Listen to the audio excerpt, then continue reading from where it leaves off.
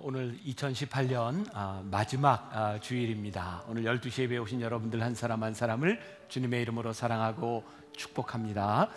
아, 이 시간에도 이 자리에 참석하지 못하고 인터넷으로 또 미디어 처치 영상으로 예배드리는 많은 분들이 있습니다. 우리 한번 인사를 이렇게 하셨으면 좋겠는데 오늘 인사는 하나님의 은혜입니다. 이렇게 인사하는데 10시 예배 때 두 번 인사를 했어요. 왜냐하면 첫 번째 인사를 하는데 영혼이 없이 손을 흔들더라고요. 그래서 다시 영혼을 담아서 흔들려고 해서 이번에 한 번에 끝냅시다. 네, 우리 영혼을 담아서 아, 하나님의 은혜입니다. 이렇게 한번 인사합시다. 시작. 하나님의 은혜입니다. 어, 네, 감사합니다. 또 하나 중요한 부분인데요.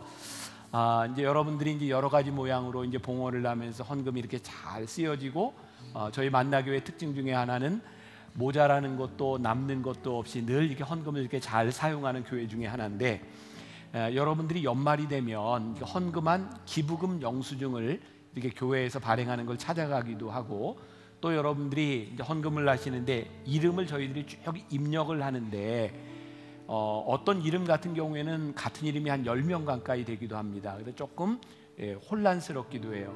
그래서 이제 내년부터는 여러분들이 헌금, 기부금 영수증을 여러분들이 직접 에, 온라인으로 여러분들이 직접 빼갈 수 있도록 그렇게 시스템을 바꾸려고 하는데 그러기 위해서 필요한 게 여러분들 생년월일입니다. 주민등록 어, 마지막 어, 여섯 자리가 되겠죠. 생년월일을 여러분들이 이렇게 넣어주시면 우리 재무부에서 이렇게 입력을 하고 여러분들이 필요한 때 언제든지 여러분들이 교회 홈페이지에 접속하셔서 자기 인증만 되면 뽑아갈 수 있도록 그렇게 시스템을 바꾸려고 합니다.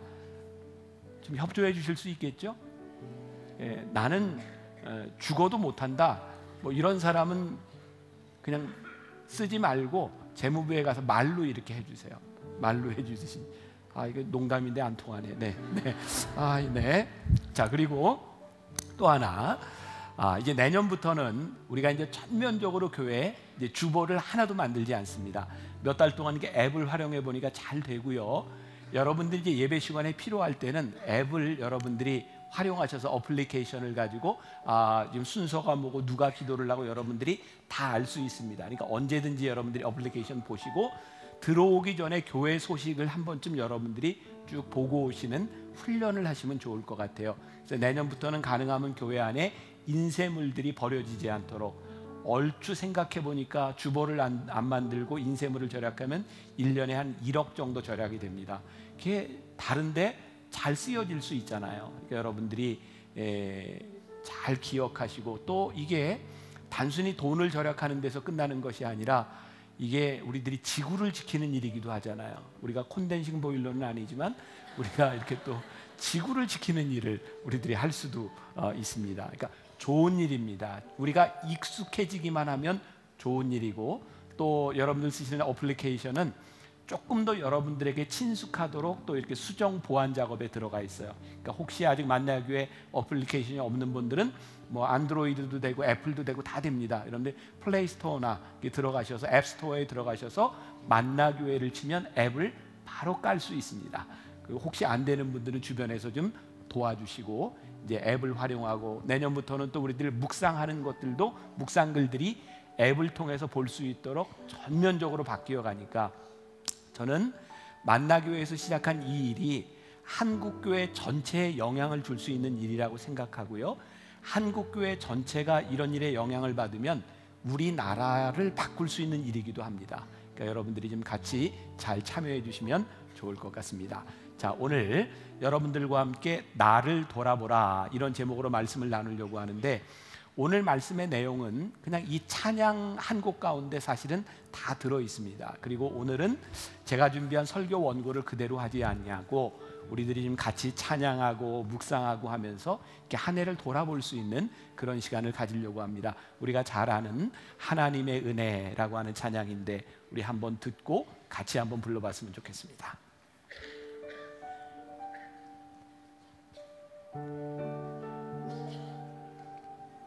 나를 지으신 이가 하나님. 나를 부르신 이가 하나님. 나를 보내신 이도 하나님. 나의 나 된 것은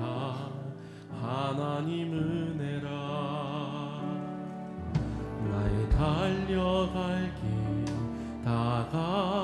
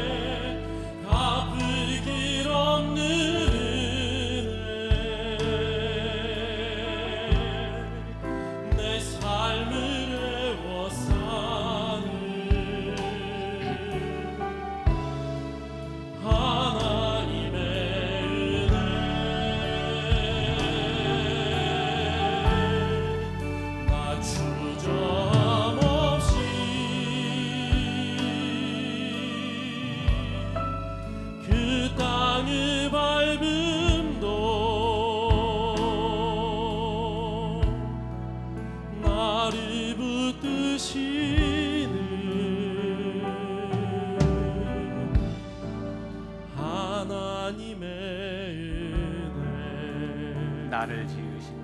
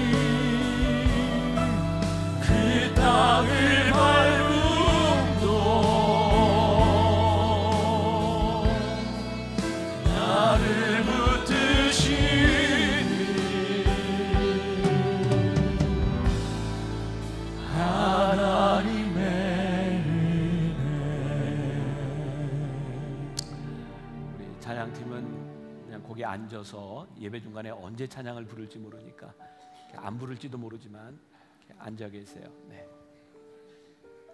아, 이 찬양의 가사를 생각하면 우리들이 부를 때 어떤 분들에게는 아, 정말 하나님의 은혜구나 이렇게 고백이 되는 분들도 있고 어, 아무런 감정이 없는 분도 있을지 모르겠어요.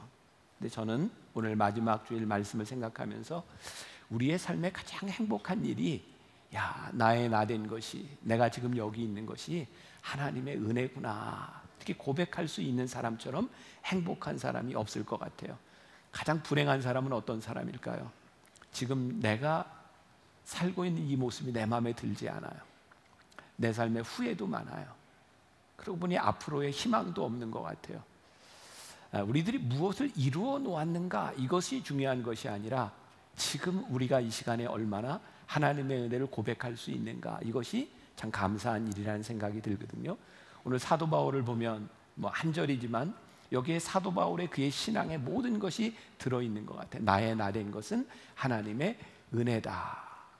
내게 주신 그 은혜가 헛되지 않도록 나는 다른 어떤 사람보다도 수고했다. 그런데 여기에 방점을 짓는 것은 수고에 있는 것이 아니죠. 내가 수고했다. 여기에 있는 것이 아니라 하나님의 은혜로 인하여 내가 수고했다. 그러니까 그의 수고가 힘겨운 것이 아니라 하나님의 은혜로 느껴지는 거죠. 사도 바울 사도 바울을 생각하면 그는 그렇게 그의 인생에 행복할 만한 객관적인 조건을 가지고 있었던 것 같지는 않아요. 어, 일단 그 성경에는 나오지 않지만 성서학자들이 또 전승에 의해서 사도 바울의 외모에 대해서 이렇게 묘사해 놓은 것을 보면 사도 바울은 일자 눈썹이었답니다. 그리고 사도 바울은 키가 작았고 그 시대에 참 그게 많지 않았을 텐데 대머리였다 그래요. 그러니까 제가 눈썹만 일자였으면 제가 사도 바울이다 이렇게 우길 수 있을 텐데 사도 바울은 외모적으로 볼 때 뭐 그렇게 행복한 사람은 아니었을 것 같아요. 그렇죠. 우리들 사실 외모가 우리들에게 굉장히 예, 중요한 역할을 하는 거 사실이잖아요.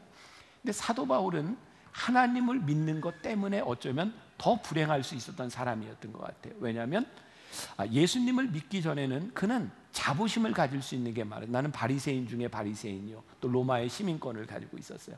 근데 예수를 믿고 사도가 된 것 때문에 그가 자랑할 수 있었던 것을 포기해야 됐던 사람이고 주류 사회에서 그는 욕을 먹는 사람이었어요. 근데 그걸로 끝난 것이 아니라 그가 사도가 되었음에도 불구하고 그는 사도들에게도 그리스도인들에게도 배척을 당했던 사람이에요. 왜? 사람들은 사도 바울을 기억할 때 너는 예수 믿는 사람들을 핍박했던 사람이야. 그러니까 어떻게 보면 사도 바울의 인생은 참 고달픈 것이 많았던 사람인 거예요. 후회할 일도 참 많았던 사람인 거예요. 그런데 그의 인생에 후회할 일들과 고달픈 그런 일들을 생각할 때마다 그는 그에게 임하시는 하나님의 은혜가 너무 감사했던 거예요. 나의 나된 것은 하나님의 은혜다 이렇게 고백을 하고 있어요. 어, 내가 나를 감사하지 못하고 내가 아무리 나를 바꾸려고 해도 어, 그것이 그렇게 우리들에게 행복을 가져다 주는 것 같지는 않습니다. 우리들의 삶을 자랑할 수 있는 것은 내가 가지고 있는 것, 내가 이루어 놓은 것, 에, 그것이 아닌 것 같아요. 사도 바울을 통해 보면 그가 가지고 있었던 과거, 그가 살았던 삶, 그게 하나님의 은혜가 아니고는 설명이 되지 않는 거죠. 고린도전서 15장 8절부터 9절까지에 보면 사도 바울은 자신에 대해서 이렇게 얘기를 했어요. 맨 나중에 만삭되지 못하여 난자 같은 내게도 보이셨느니라. 만삭되지 못한 우리말로 하면 칠삭동이 팔삭동이 다른 말로 얘기하면 찌질이죠. 그러니까 사도 바울 스스로 생각할 때 이 찌질이 같은 나에게도 하나님이 보이셔서 나는 사도 중에 가장 작은 자라 나는 하나님의 교회를 박해야 했으므로 사도라 칭함 받기를 감당하지 못할 자니라. 그러니까 그의 삶을 생각하면 너무너무 부끄러운 거예요. 스테반이 돌에 맞아 죽는 현장에 있었던 나, 예수님 믿는 사람들 잡아 죽이려고 말을 타고 담에색 도상으로 달려가던 나 너무너무 부끄러웠던 거예요. 근데 사도 바울에게 있어서 놀라운 것은 그가 부끄러움이 더해지면 더해질수록 그에게 찾아오는 것이 하나님의 은혜였던 거예요. 하나님의 은혜가 너무 겨워서 내가 임하신 내게 임한 하나님의 은혜 때문에 내가 이렇게 살아왔던 것에 대하여 그는 감사할 수밖에 없어요. 그러니까 오늘 마지막 주일날 우리들이 우리들의 삶에서 무엇을 이루었고 나는 이렇게 성공했고 나의 삶은 이렇게 열매가 있고 그것으로 우리들이 하나님 앞에 감사할 수 있는 것이 아니라 왜? 우리는 우리가 이룬 것 가지고 그렇게 감사했을 만한 그러한 자신 있는 사람들이 아닌 거예요. 근데 사도 바울을 통해서 우리가 연약하면 연약할수록 우리들에게 주시는 더 큰 은혜를 생각할 수 있을 때에 그게 믿음으로 우리들이 고백할 수 있는 하나님의 은혜죠. 지난 여름에 우리 교회 이열치열 부흥회를 낼때 어, 이용규 선교사님이 오셨어요. 내려놓음, 더 내려놓음 이런 책을 쓴 분이죠. 제가 이제 지난주에 이용규 선사, 어, 선교사님하고 이제 점심 식사를 하고 이런 저런 이야기도 했는데 그 지금은 선교사님들을 돕는 그런 일들을 많이 하는데요. 선교사님들을 보면 진짜 훌륭한 인격, 훌륭한 재능을 가지고 선교지에 와서 그건 그 이용규 선교사님의 그냥 느낌이에요. 한 5년 정도 지나면 영적 곤핍을 경험하고 5년 정도 지나가면 망가지는 모습들을 참 많이 본다는 거예요. 그러니까 우리는 우리의 능력을 가지고 무언가를 할 수 있을 만한 그런 존재가 되지 못하는 거예요. 그 더 내려놓음이라고 하는 책에 보면 이런 얘기가 나옵니다. 말을 잘 알아듣는 원숭이가 있었대요. 그래서 주인이 원숭이에게 이렇게 대청마루 위에서 여름에 잠을 자는데 더우니까 말귀를 알아듣는 원숭이에게 나 자는 동안 부채질을 좀 해라 이렇게 얘기했대요. 또 여기서 여러분들이 원숭이가 어떻게 말귀를 알아듣냐 막 이렇게 얘기하면 제가 할 말이 없어요. 그냥 이야기예요. 네. 원숭이에게 이제 부채질을 하게 했대요. 그런데 잠을 자는데 파리가 와서 자꾸 귀찮게 하니까 원숭이에게 파리도 좀 쫓아라 그랬대. 이 원숭이는 너무너무 충성스러운 원숭이라 부채질도 하고 파리도 쫓는데 이 파리가 도망가지 않고 달려드니까 화가 난 거예요. 이 파리를 어떻게 쫓지? 그러니까 충성을 다하고 싶은 거예요. 그래서 파리를 쫓다 쫓다 생각하면서 보니까 마당에 돌이 있는 거예요. 옳거니. 그래서 그 돌을 가져다가 부채질을 하고 있다가 파리가 주인의 얼굴에 딱 앉아 있을 때 파리를 잡았어요. 잘했어요, 잘못했어요. 어, 굉장히 충성스럽기는 하지만 주인이 원하는 것을 한 일은 아니었던 것 같아요. 저는 우리의 삶을 그렇게 생각하거든요. 우리가 하나님 앞에 충성스러웠다, 내 가정에 충성스러웠다, 내 삶에 충성스러웠다. 우리가 충성스러웠다고 하는 것만큼 만족할 만한 결과와 선한 결과가 우리들에게 꼭 오는 것도 아닌 것 같아요. 만일 하나님께서 우리의 결과물을 가지고 이것이 은혜다라고 생각한다면 우리는 하나님 앞에 서 있을 자가 아무도 없는 거예요. 우리는 어린아이를 키울 때 그런 경험이 있어요. 조그만 어린애가 엄마 아빠를 돕겠다고. 아, 엄마 이거 내가 할게요. 막 음식도 날르고 그래요. 그걸 보면 여러분들 그냥 기쁜 마음이 드세요? 불안하지 않으세요? 그러다가 또 깨기도 해요. 그런데 엄마 아빠의 입장에서 불안하기는 하지만 그릇을 깨기도 하지만 대견스러운 거예요. 그 아이가 잘 해서가 아니라 엄마 아빠를 돕겠다고 하는 그 마음이 너무 귀한 거예요. 이게 사도 바울에게 있어서 그런 마음이었던 그가 하나님을 믿고 그의 삶이 변화된 이후에 아무리 생각해도 내가 하나님의 일을 한다는 것이 그렇게 내가 자격이 있는 사람 같지 않은데 그리고 살아갈 때마다 부끄러웠던 그 과거가 내 삶을 얼굴을 정말 붉게 물드는 일들이 생각날 때마다 사도 바울은 무엇을 기억했어요? 아, 하나님의 은혜구나. 하나님의 은혜가 아니면 내가, 내가 이 자리에 서 있을 수 없는 것이구나. 여러분, 은혜를 착각하지 마세요.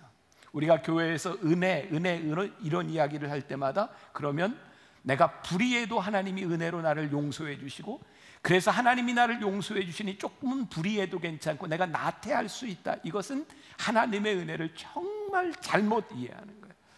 하나님의 은혜가 내 속에 하면 우리가 불의해지거나 나태해지는 것이 아니라 하나님의 은혜로 인하여 더욱더 치열하게 살 수밖에 없는 하나님의 은혜로 인하여 내가 다른 어떤 사도보다도 더 수고할 수밖에 없게 만드는 그것이 우리들이 경험할 수 있는 하나님의 은혜. 여러분들은 어떤 은혜로 은혜를 고백하면서 오늘 자리에 앉아 계세요? 저는 연초에 아, 두 번 병원에 입원을 했었거든요. 큰 병원 아니지만 정말 목회하기 힘들다 싶을 정도 일주일 내내 진통제를 맞으면서 누워 있었어요. 야, 내가 이거 제대로 오래 목회를 할 수 있을까? 근데 참 신기하죠. 지금 이 자리에 있어 보니 또 하나님이 한 해 동안 나를 인도해 주셨어요. 나에게 곤고함과 고통과 시련이 없었던 것이 아니라 지금 이 자리에서 보니 하나님이 나를 여기까지 인도해 주셨어요. 여러분들에게는 어떤 일이 있었는지 몰라요. 누군가에게 오해를 받았을 수도 있고 억울한 일을 당했을 수도 있고. 근데 정말 놀라운 은혜가 무엇이냐면 오늘 여러분이 여기에서 이 자리에서 예배하고 하나님 앞에 나와 있을 수 있다고 하는 것이 우리들에게 얼마나 큰 은혜인지 몰라요. 그런 찬양이 있죠. 준혜로 이곳에 서 있네 주 임재에 엎드려 절하네. 그 어느 것도 난 필요 없네 주님만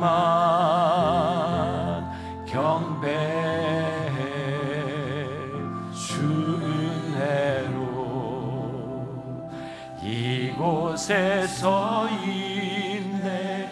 주 임재에 엎드려 절하네. 그 어느 것도 난 필요 없네. 주님만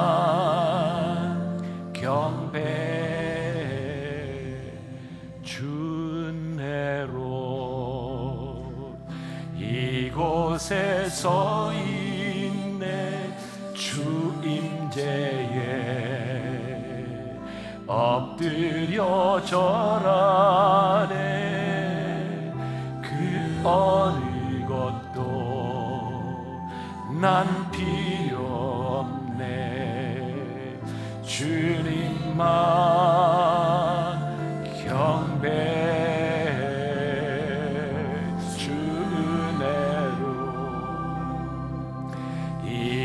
곳에 서 있네 주 임재에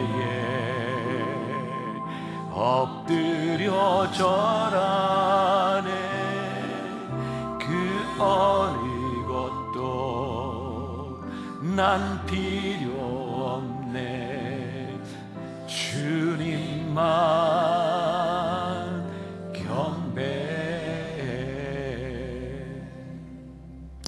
사도 바울은요 하나님의 은혜를 경험한 후에도 아, 그 속에 있었던 열등감이 사라진 것 같지는 않아요. 그러니까 그가 살았던 과거가 그렇게 우리의 기억 속에서 잊혀지고 없어지는 것이 아니라 그의 삶에 늘 기억나는 것이 있었고 그가 믿음으로 살아가지만 그가 늘 연약함 가운데 넘어지는 그의 연약함도 잘 알고 있었던 것 같아요. 그러니까 로마서 7장 18절과 24절의 사도 바울은 그렇게 이야기하죠. 내 속, 곧 내 육신에 선한 것이 거하지 아니하는 줄을 아노니 원함은 내게 있으나 선을 행하는 것이 없노라. 그러니까 사도 바울의 고민이 뭐였어요? 내가 사도로 불리움을 받았음에도 불구하고 내 안에 선하지 않으려고 하는 마음이 있는 것 때문에 무척 괴로워했어요. 24절에는 오호라 나는 곤고한 사람이로다. 이 사망의 몸에서 누가 나를 건져내랴. 그러니까 사도 바울은 하나님 앞에 쓰임을 받으면서도 그 안에 늘 영적 곤고함이 있었던 거예요. 근데 참 놀랍죠? 영적인 곤고함이 곤고함으로 끝나면 우리들에게 참 불행한 인생이 되는데 그에게 곤고함이 일어날 때마다 그의 속에 일어나는 또 하나가 있었던 거예요. 아, 하나님의 은혜가 아니고는 내가 여기에 설 수 없는 존재이구나. 하나님의 은혜로 내가 여기에 서 있구나. 제가 얼마 전에 우리 친한 목사님들과 함께 식사를 하면서 그냥 서로 목회하면서 실수했던 일들을 이렇게 서로 얘기한 적이 있어요. 아유 세상에 실수했던 일을 이야기하기 시작하니까 얼마나 실수한 일들이 많고 정말 창피한 일들이 많은지 몰라. 한참을 이야기하다가 결론이 낸지 뭔 내린 결론이 결론을 내린 게 뭐냐면 야 하나님의 은혜구나. 야 우리가 이렇게 목회하고 여기까지 올 수 있었던 것이 하나님의 은혜가 아니고는 정말 설명할 길이 없구나. 그러니까 우리의 실수와 우리들의 부족함이 생각날 때마다 우리들에게 다가오는 게 뭐예요? 하나님의 은혜인 거예요. 그러니까 하나님의 은혜를 생각할 때마다 우리들에게 부족하며 하나님의 은혜가 생각할 때마다 내가 다른 누구보다도 더 수고하지 않고는 견딜 수 없는 마음들이 우리들에게 일어날 때, 야, 1년을 돌아보며 이게 정말 하나님의 은혜구나. 창세기 6장에 보면 노아에 대한 이야기가 나옵니다. 노아에 대해서 성경은 이렇게 표현하고 있어요. 그는 의인이요 당대의 완전한 자라. 의인이요 당대의 완전한 자라. 그런데 창세기 6장에 노아가 살고 있던 시대에 대해서 뭐라고 이야기를 하냐면 하나님께서 이 땅에 사람을 지으신 것을 후회할 만큼 그 죄악이 충만한 땅이었다. 하나님이 이 땅에서 그들을 다 쓸어버리리라. 참 놀랍죠? 죄악이 얼마나 많았는지 하나님이 사람 지으신 것을 후회할 만큼 죄악이 많았던 땅에 노아는 의인이요. 당대의 완전한 자였다라고 말하고 있어요. 우리들이 종종 꿈꾸는 게 있잖아요. 내가 정말 하나님의 은혜 가운데 살아간다고 하는 것, 내가 하나님의 축복을 받았다고 하는 것이 뭐냐면 이 세상의 모든 것이 완벽하게 나를 만들어주는 야, 내가 신앙생활 하나님 앞에 봉사하고 섬기고 할수 있는 완벽한 조건이 갖추어지는 것. 그런데 노아를 바라보니까 그가 의인이요 당대의 완전한 자일 수 있었던 것은 죄악, 죄악이 충만한 세상 가운데서 그는 의인이었어요. 그러고 보니 생각해 보니 죄악이 충만한 곳에서 의인으로 살아갈 때 세상 사람들이 다 그렇게 살아가도 내가 하나님의 사람으로 그렇게 살아갈 수 없는 것 때문에 우리들이 힘들어하고 우리들이 고민하며 몸부림칠 때 우리는 비로소 하나님의 은혜를 경험해요. 그러니까 우리는 이 세상이 이렇게 죄악되고 사람들이 다 그렇게 살아가고 사람들이 다 그렇게 불의하니 우리도 어쩔 수 없다고 하는 데서 하나님의 은혜가 기억나고 고백되는 것이 아니라 이 세상 사람들이 다 그래도 우리는 하나님의 은혜를 붙들고 살아갈 수밖에 없는 것을 우리들이 살아가기 시작할 때 그래서 내가 누구보다도 더 수고했다라고 말할 수 있을 때 우리는 하나님의 은혜를 고백할 수 있는 말씀을 준비하면서 봤던 한 이야기예요. 아, 소 제목이 세상은 절대 그런 게 아닙니다라는 거예요. 어, 어떤 사람이요 길을 지나가는데 갑자기 비가 왔어요. 우산이 없는데 갑자기 비가 올 때가 있잖아요. 그래서 이제 처마 밑에 가서 이렇게 비를 피하려고 하는데 거기에 이미 한 청년이 비를 피하고 있었어요. 이 사람도 가서 이렇게 비를 피하고 있는데 사람들이 오면서 어떤 할아버지도 오고 어떤 아줌마도 오고 그래서 처마 밑이 꽉 찼어요. 근데 이제 이 책 내용대로 이야기하면 그 순간 정말 불행스럽게도 아, 왜 이런 땐 또 그런 분이 등장하는지 모르겠어요. 뚱뚱한 아주머니가 그 처마 밑으로 딱 들어와서 비를 피하는 순간 저 끝에 있었던 청년이 튕겨져 나갔어요. 그래서 이제 비를 맞고 있는 거예요. 그때 그 청년을 보며 할아버지가 이렇게 말합니다. 젊은이 세상이 다 그런 거야. 이 청년이 물끄러미 할아버지를 쳐다보더니 갑자기 어디를 갔어요. 몇 분 후에 이 청년이 오는데 비닐 우산을 사가지고 사람들에게 하나씩 다 나눠주고 어, 이 청년이 떠나면서 이렇게 말합니다. 할아버지, 세상이 다 그런 게 아닙니다. 그때 그 할아버지가 세상은 다 그런 거라네 라고 말했던 할아버지가 물끄러미 바닥을 쳐다보다가 우산을 놓고 떠나갔어요. 그런 짧은 이야기였어요. 여러분 우리들의 삶에 감동을 주는 것, 우리들의 삶을 바꾸는 것은 세상이 다 그래라고 이야기할 때 세상이 다 그런 것은 아닙니다. 모든 사람이 다 실패했다고 이야기할 때 그렇지 않습니다. 우리는 하나님의 은혜로 살아갑니다. 우리가 실패 가운데서 눈물을 흘리고 가슴 아파하고 너무너무 힘들 때 그것으로 끝나는 것이 아니라 그 안에 우리를 인도해 주신 하나님의 은혜를 우리들이 고백할 수 있는 것. 아, 그것이 하나님의 은혜로 살아가는 거죠. 여러분 누가복음 5장에 보면 베드로가 예수님을 처음 만났던 장면이 나옵니다. 베드로가 밤새도록 고기를 잡는 잡은 것이 없었어요. 예수님께서 저 깊은 곳에 가서 그물을 던져라. 그래서 고기를 잡고 예수님을 따라가게 된 이야기를 아시죠? 네, 이 말씀을 바탕으로 만든 찬송이 하나 있습니다. 내주 하나님 넓고 큰 은혜는 이 찬송가는 그 말씀을 바탕으로 만들어진 찬양입니다. 한번 반주해 주실래요?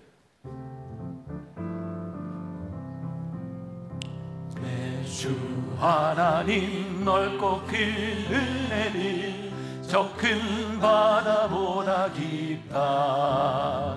너 걷다 주를 불러 깊은 대로 저 한가운데 가보라. 언덕을 떠나서 장파에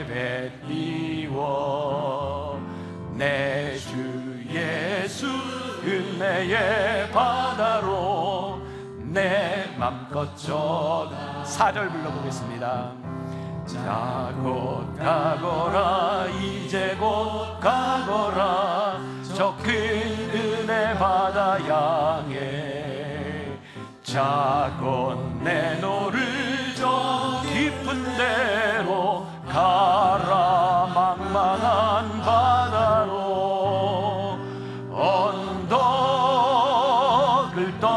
나서. 장파에 배 띄워. 내 주 예수 은혜의 바다로 내 맘껏 저가라. 은혜의 바다로 가보라. 우리가 은혜를 고백한다고 하는 게 무엇일까? 제가 오늘 말씀을 마무리 예, 하려고 해요 사도 바울에게 있어서 예, 고린도전서 15장은 그러니까 부활장이라고 부르는 것이거든요. 사도 바울이 하나님의 은혜를 고백하면서 부활장에서 이런 이야기를 합니다. 만일 우리의 삶이 우리가 바라는 것이 다만 이생뿐이면 우리가 모든 사람들 가운데 가장 불행한 사람이다. 그러니까 우리들이 세상과 동일한 가치를 가지고 살아간다면 우리들은 참 불행한 사람들입니다. 우리의 수고가 의미가 없는 거예요. 근데 우리들의 삶이 이 생뿐이 아니요 우리를 부르신 하나님의 은혜를 고백하기 때문에 우리의 수고가 가치가 있는 거예요. 제가 수년 전입니다. 아, 제가 삼척에 있는 어떤 시에 집회를 인도하러 가게 됐어요. 뭐 저는 이제 부흥사가 아니니까 저는 이제 목회를 하는 사람이니까 가능하면 외부의 집회를 지금 가지 않으려고 많이 노력을 하는데 이제 인간관계 때문에 이렇게 가야 되는 경우들이 있어요. 그러니까 제가 흔쾌히 간 게 아닌 거죠. 아 이렇게 해야 되나 그리고 이렇게 갔어요. 목사로서 참 이게 불행한 일이잖아요. 이렇게 말씀을 전하러 가는데 가기 싫어서 가는 거. 근데 여러분들 제가 솔직히 고백하면 늘 기쁜 게 아니에요. 어, 하기 싫을 때도 있어요. 제가 주일 설교를 하면서 제가 늘 기쁘냐? 그렇지 않아요. 여러분들이 가끔 교회 오기 싫을 때 있죠? 어, 똑같아요. 사람이 뭐 거기서 거기 이제 목사라고 뭐 저도 그런 느낌. 근데 참 신기한 건요. 우리들이 곤고하고 우리들이 힘들 때 하나님을 믿는 사람들은요. 곤고하고 힘들기 때문에 하나님의 은혜를 구한다는 거예요. 그때 제가 그랬어요. 억지로 왔기 때문에 집회는 해야 되고 내 마음이 흔쾌히 온 것이 아니니까 집회를 해야 되는 상황이니까 기도하는 거죠. 하나님, 저 붙들어 주세요. 저에게 하나님의 마음을 주세요. 잘 인도하게 해주세요. 첫날 집회를 마쳤는데 정말 집회가 너무너무 좋은 거예요. 그러니까 저는 그때 집회를 마치고 난 설교를 마치면 이제 빨리 숙소에 가서 쉬고 또 새벽에 나오고 이래야 되는데 제가 불편하고 힘드니까 이제 끝나고서 계속 저도 이제 교인들하고 이제 기도를 하고 있었던 거예요. 근데 기도할 때 누가 잘 안 건드리는데 누가 와서 저를 툭툭 이렇게 찔르는 거예요. 가끔 그런 음, 분들이 있어요. 그 저한테 뭐 중요한 얘기도 아니에요. 그냥 목사님, 제가 정말 눈물을 엄청 흘렸는데 하나님이 평안한 마음을 주셨어요. 이거 잘못된 거 아니죠? 네, 네. 네. 그리고 이제 저는 이제 목사님들 있는 방으로 이렇게 가는데 그분이 거기까지 따라왔어요. 그러니까 사람들이 막 당황스러운 거예요. 근데 이분이 오자마자 뭔가 연결고리를 만들고 싶은 거예요. 목사님 설교하는데 목사님 사모님 얘기하셨잖아요. 사모님 이름이 인숙이라고 제가 인숙이에요.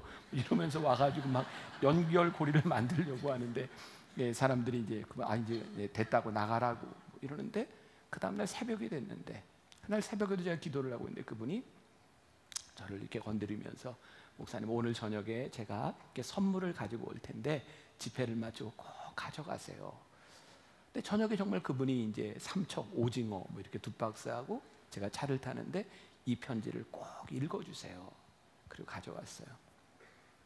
너무 편지가 길어서 제가 다 요약을 하기도 힘들어요. 첫 번째 글이 이렇게 시작해서 목사님 저는 두 번 결혼에 실패하고 세 번째 결혼을 했지만 지금도 불행하게 살고 있는 사람입니다. 그러니까 세 번 결혼을 하고도 불행한 사람이었으니까 얼마나 그의 인생이 곤고하겠어요.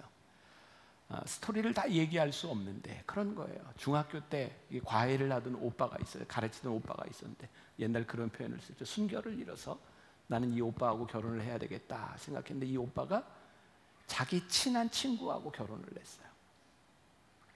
힘들어서 고향을 떠났고 어, 이제 속초에 가서 사는 동안 어떤 교회 어린이집에서 보조교사로 일을 하고 있는데 정말 그때 신앙생활을 하고 참 좋았는데 또 그 교회 목사님이 좋지 않은 사건으로 연루되면서 이분은 이단에 들어가게 됐어요. 다행스럽게 어머니가 고향으로 불러서 이제 거기에서 이제 피아노 학원을 하게 됐는데 작은 도시니까 뭐 자격증 뭐 이런 것들을 묻지 않으니까 20대 초반에 이제 피아노를 잘 쳤던 모양이에요.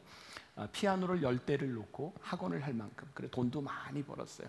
그때 이제 남자를 또 만났어요. 결혼을 했고요. 아이를 낳는데 남자는 또 다른 여자하고 만나서 갔어요. 자기가 처음으로 좋아했던 그 남자가 낳았던 아이가 아, 장애가 있었대요. 그래서 여자가 또 도망을 가고 이, 이분은 그 아이를 데려다 키우고 또 지금 결혼한 남편에게서 어, 낳은 아들을 키우고 그런데 이 남편이 어, 결혼을 해서 살다가 자기 아내가 아이를 못 낳는다고 이 아이를 또 뺏어갔어요. 그러면서 세 번째 결혼을 하고 그렇게 그러니까 이 상황을 얘기할 수 없는 공고한 거죠. 근데 그분이 저희 편지에게 이렇게 이렇게 썼어요. 목사님, 저 열심히 살 거예요. 더 이상 실패하지 않고 열심히 살 거예요. 편지에 이런 글이 있어요. 이번 집회 가운데 주님께서 나에게 찾아오셨어요. 그 은혜가 너무 커서 제가 열심히 살 거예요. 그분의 글에 보면 자기는 아침 7시부터 레슨을 시작하고요. 저녁 7시까지 살아야 되는 거예요. 이분 이제 그분이 할 수 있는 일이겠죠. 그런데 하나님의 은혜를 생각하며 제가 새벽마다 기도하려고 마음을 먹었어요. 저녁이 되면 제가 섬기고 있는 교회 가서 화장실 청소도 하고 제가 청소하는 일을 할 거예요. 그분이 처한 상황 가운데도 곤고함 가운데서 그렇게 일을 한다는 것이 결코 쉬운 일이 아닌데 그분이 그렇게 열심히 살고 싶은 거예요. 왜? 하나님의 은혜를 생각하니 내가 그냥 살 수 없는 거예요. 저는 오늘 여러분들에게 주신 하나님의 가장 큰 은혜, 우리의 인생을 돌아볼 때 내가 누구보다도 수고할 수 있는 이유는 우리의 환경과 우리들의 처한 문제가 아니라 나에게 다가오시는 하나님의 은혜를 생각하니 내가 부족하고 연약함에도 불구하고 내가 누구보다도 수고하지 않으면 안 되는 그것이 너무너무 감사한 일. 그게 나의 나 된 것은 하나님의 은혜니 라고 했던 사도 바울의 고백이었어요. 오늘 한 해를 마감하는 여러분들에게 혹시 하나님의 은혜가 잊혀졌거나 하나님의 은혜를 고백하는 여러분들이 있다면 아 나의 나 된 것이 지금 이 자리에 내가 있음이 하나님의 은혜인 것을 고백하고 그리고 열심히 살아야 되는 이유 누구보다도 수고해야 되는 이유가 여러분들의 삶에 있기를 주님의 이름으로 간절히 축복합니다. 우리 나의 나 된 것은 하나님의 은혜입니다. 우리 다시 한번 고백합시다.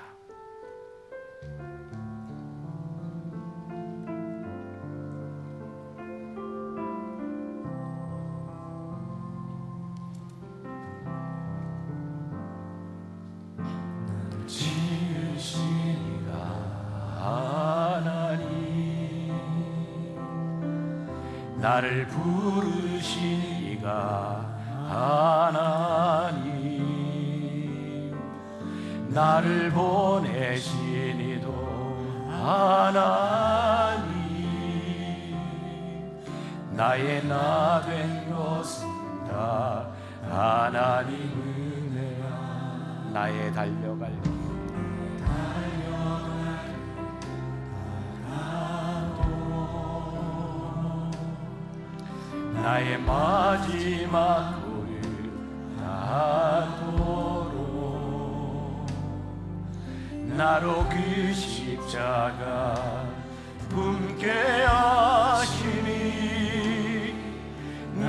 나된 것은 다. 하나님 은혜라. 한량 없는 은혜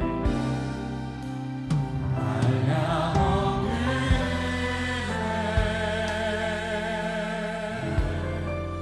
갚을 길 없는 은혜. 내 삶을 애워싸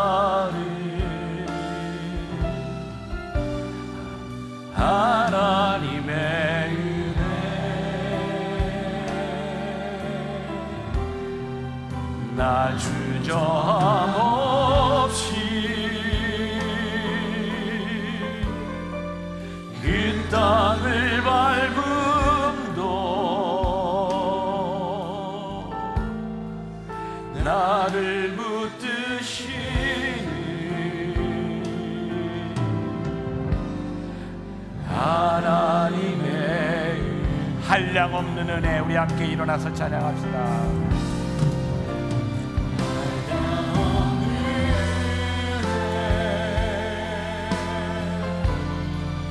갚을 길 없는 은혜 내 삶을 내워싸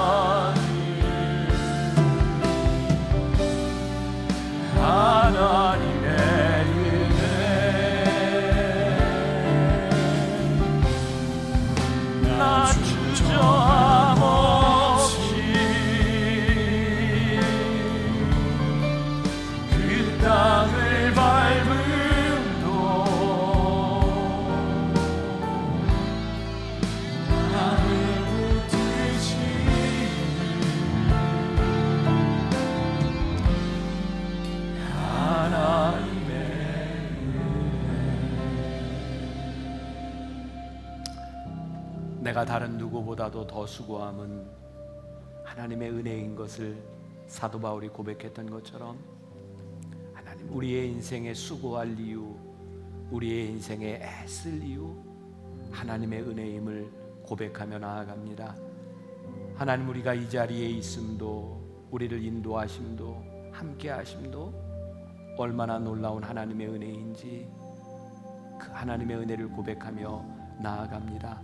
그래서 올 한 해를 우리들에게 주심이 너무 감사하고 올 한 해 우리들에게 좋은 사람 때로는 우리를 아프게 했던 그 사람도 함께 살게 하심도 너무 감사하고 오늘 이 하나님의 은혜를 안고 이 세상으로 담대히 나아가게 하시고 오늘도 하나님 앞에 드려진 귀한 예물 손길 하나하나를 기억하셔서 그 손길이 복되게 하시고 또 하나님의 은혜로 이 예물들이 잘 쓰여질 수 있도록 축복하여 주옵소서. 지금은 우리 주 예수 그리스도의 은혜와 하나님 아버지의 무한하신 사랑과 성령의 인도하심이 나의 나됨이 하나님의 은혜임을 고백하며 이 세상으로 나가는 당신의 사랑하는 모든 백성들을 위해 지금부터 영원까지 함께 하시기를 간절히 축원하옵나이다. 아멘.